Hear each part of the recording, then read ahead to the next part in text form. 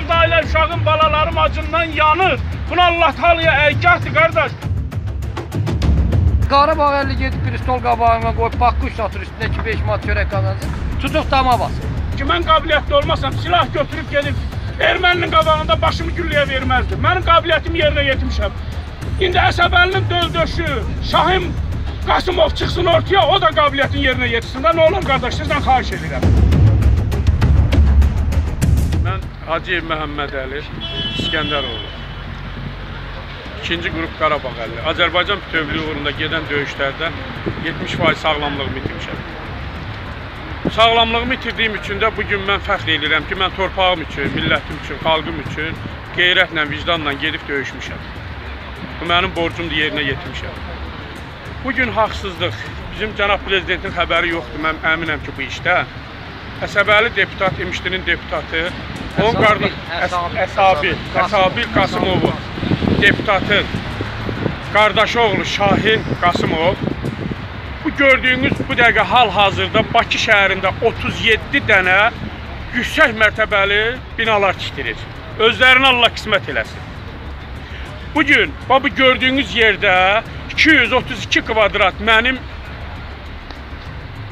obyektim var. Yəni Var idi. var idi, sökülüb dağılıb, yox, yox elədilər. Deməli, bir gün bunlar bizi gəldilər, bir-iki dəfə buraları söküntüsü olanda yüngül pulla bizi allatdılar. Nə bilim ora çəkmək, bura çəkmək, hədə qorxu gəldilər. Hətta ora qədər qayıtdı ki, hökumət bizi, biz qazi, mazi, heç bir şey, yəni gözümüzün qabağında belə şey yoxdur. Gözün aç deyir, gözümə yaxşı bax. Mən buna dəfələrlə dedim ki, hər bir şeyi qoyaq bir qırağa, göydə Allahını unutma. Mənim 4 dənə övladım var. Artıq 2002-ci ildən mən burada ticarətlə məşğul olub, üzr istəyirəm, balalarımı, övladımı onunla saxlayıram. Mən çəliyə sökənən bir insanam. O ona məhəl vermədi. Gecənin birində maşını diriyib, sökdü traktorla. İçi dolu bizdə canlı e, çəkilişləri də var, canlı videosu da var. Gecə bizim xəbərimiz olmadan biz bilməmişik. Malımızı aparmaq şərti ilə yarım milyondan yaxın içində bahalı inşaat ayını oyunları, sefimiz, nisiyə dəftərimiz, hər bir şeyimiz həmən ofisimizin içində, həmən dükanımızda. Gecə ilə onu şuman eləyib torpağa qatdılar. Gördüyünüz kimi səhəri gətirib burada katlavan qazıb yerində bina qaldırırlar. Bu gün 3-cü aya keçibdir ki, onun ofisinə getmək, ora-bura özümüzü öldürmək heç bir nəticə yoxdur. Bizi hədələməklə, bizi qorxuzmaqla Kim istifade eləyir? Çox pis hacan. Sizi kimə əd eləyir? Bizi. Qasımov Şahin. O kimdir? E, deməli, bayaq bildirdiyim kimi İmişli rayonunun deputatı Əsəbəli Qasımovun qardaşı oğludur. Pulum da var deyir. Hökumət də Yəni mənə şəxsən sizə deyir də bu sözləri. ancaq bizə deyir qardaş. Burada mən öz binamın üstündə mən dəfələrlə 2-3 nəfər başımda dəstəklə qardaşlarla getmişik. Nəticə yox. Get işinlə ol. Mən də öz dövlətimdən, öz prezidentimə üzümü tutub xahiş edirəm ki, mənim heç bir imkanım yoxdur ki, gedəm hardasa bir şərait yaradam, mən balalarımı doladım. Mən prezidentimdən kömək istəyirəm ki, bu işdən məlumatlı olsun, belə haqsızlıqlarda mənə köməkdarlıq eləsin. Axır nəticəyə gəlmişəm ki, işimi bərpa eləyə bilməsəm, zahar kimi mən benzin götürüb özümü yandıracağam xalqın qarşısında. E, sonuncu dəfə onunla nə zaman görüşmüsüz və nə tək nəsə təklif eləyib Axırıncı kompensasiya? səfər, axırıncı səfər icra hakimiyyətindən bizə göstəriş verdilər ki, tapşırılıbdır. Gedin Şahinin yanına, Şahin müəllimi. Hansı icra hakimiyyəti? Nərmanovun icra hakimiyyətindən.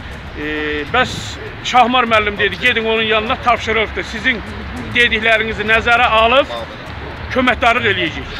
Gəldik onun yanına, heç dedi mən sizi tanımıram, tanımaq da istəmirəm, çıxın gedin.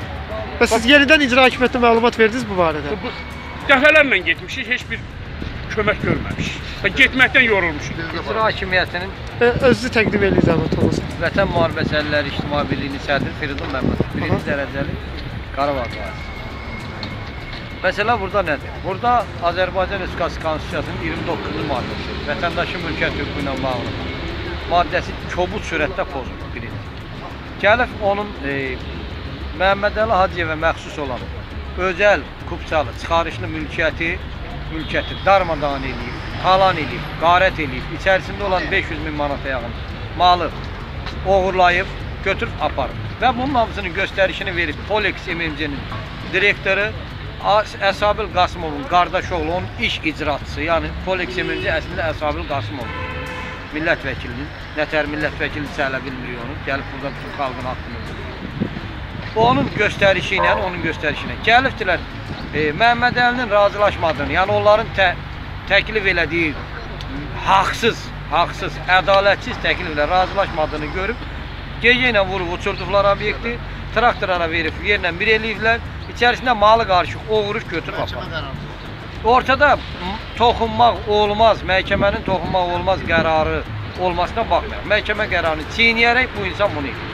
Təəssüflər olsun ki, bu günə qədər Şahin Qasımov və Əsabil Qasımov heç kim heç bir məsuliyyətə cəlb eləməyibdir. Onlar tutduqları əməldən heç peşman da deyirlər.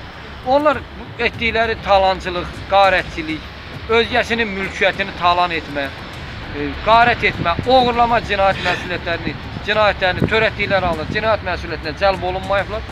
Və bu gün Qarabağ əlləri yığışıb bura gələrək Məhəmməd Əli Hacıyevə həmkarlıq və dəstək eləyirlər, dəstək olurlar ki, Ölçanım dolu, axşam qapı bağlanıb, içində sefi, sefi, içində nisiyə dəftəri, içində nəyə gücümüz çatıb dosta, qardaşa, hamısını nisiyə, nağdiyə alıb gətirib dükanımıza yatızdırmışam.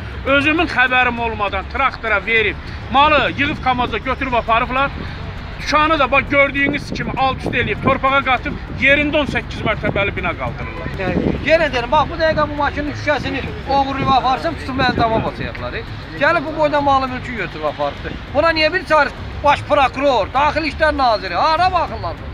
Hara baxırlar Bizim demədiyi yer balalarımız yox. məhv olsun bundan gəlib ki elə şeylərsin. Allah Taala başına gətirəcək bu yanar dağı. Mənim evdə ailə uşağım, balalarım acından yanır. Buna Allah Taala'ya əygahdır qardaş. Bunu Allah Taala əygah eləyəcək. Cənab prezidentimizin bu işdən xəbəri yoxdur. Eşidirəm qardaş, eşidirəm. 3 aydır mənim mənim üzr istəyirəm, mənim körpə, iri balalarım evdajından batır. Bəs mən nətər eləyim? Bəs Əsəbəlinin oğlu görsən hardan meydi gəlir, harda sürüşürmüş. Ay mənim balalarım acından batır, Allahsızlıq olmaz. Ay kişi biz əllər olmasaydı, Allah haqqı, şəhidlərə Allah rəhmət eləsin. Əllər olmasa gəlib Bakıda oturmuşdu. Cənab prezidentimiz əskərləri, bu dövləti, bu qranisi qoyan oğlanlarıq, bu gün zəril olmuşuq, şəhid olmuşuq.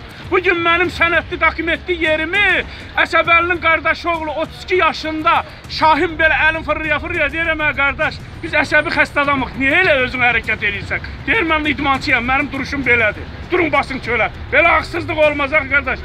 Bəs belə şey olar, başına dönüm sənin. Evdə bina tikilir, bina 3-cü mərtəbəni qoşurlar. Nəfər onların bir nəfər görürsən Allah Taala onlara takazat elədi. Allah Taala əygah elədi. Bir nəfəri gəlsin bura desin ki, sənin uşağın evdə acından batmağını al, haqqını verirəm. Biz deyən yoxdur ki, sənin başına mən dönüm. Ha.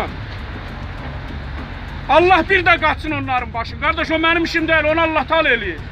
O Allahın işidir, Allahın işinə gözünün qarşısında mən burada təzdən ikinci səfər şəhid olacağam.